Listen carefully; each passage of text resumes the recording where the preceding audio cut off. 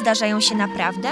Jak najbardziej. Ich świadectwem są miejsca takie jak kaplica w Gaju na Wileńszczyźnie, w której dzięki modlitwie i wstawiennictwu Matki Bożej Uzdrowienia Chorych wierzący doznają uzdrowień. Od jednego pana już lekarze odmawiali się, że nic z niego nie będzie. Przez modlitwę przy obrazie Matki Bożej Uzdrowienia Chorych pan został żywy i lekarze bardzo zdziwieni, że on jeszcze do tego czasu żyje i jest zdrowy jest wszystko z nim w porządku. To już 75. rocznica poświęcenia kaplicy Najświętszej Maryi Panny Uzdrowienia Chorych. Jak co roku wierni uczestniczyli we mszach świętych o uzdrowienie, jednak tym razem uroczystości miały szerszy wymiar. Zorganizowano koncert towarzyszący. W ostatnim dniu uroczystości w Gaju wystąpili piosenkarze i zespoły z Polski i Wileńszczyzny.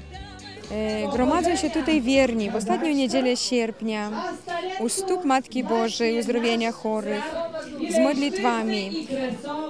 Ale cieszymy się, że w tym roku właśnie, kiedy jest to 75. rocznica wyświęcenia kaplicy, e, ta kaplica zgromadziła tyle dużo wiernych z całej Wileńszczyzny. W całej Polsce o godzinie 6 wiemy, że odbywają się msze za uzdrowienie chorych. A tutaj jest właśnie cudowny obraz Matki Bożej Uzdrowienia Chorych, który jest prawdziwą, prawdziwą kopią z, e, z kościoła Świętego Krzyża przy, przy klasztorze Bonifratrów kiedyś.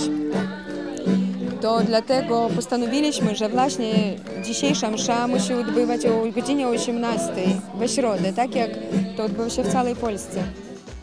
Jak się okazało, uroczystości odpustowe i towarzyszące im koncerty były znakomitą okazją do spotkań dla Polaków z Wileńszczyzny. Przyjechałam tu na mszę, a później to, że wszyscy swoje zbierają się za- zawsze na takich dużych imprezach i dużo znajomych swoich można spotkać i także przyjechałam oglądać komarenki i w ogóle polchnianie zespół występuje nasz ludowy i no tyle, że wszyscy swoi tu są.